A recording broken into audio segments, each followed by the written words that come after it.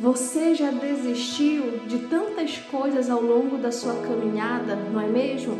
Quantos sonhos você já enterrou? Quantos projetos você já abandonou?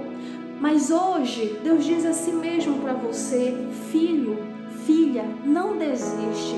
Então, meu irmão, minha irmã, não desista, porque o que Deus vai fazer na tua vida vai te deixar tão feliz que você vai esquecer os dias que você esteve triste, as coisas que você abandonou, as coisas que não deram certo. Deus vai trazer cumprimento de propósitos para tua vida. Se hoje você é aquela pessoa que diz eu não consigo ser feliz, hoje Deus muda a tua história e coloca grande felicidade aí no teu coração. Se você crê, toma posse, confirma nos comentários com teu amém, em nome de Jesus.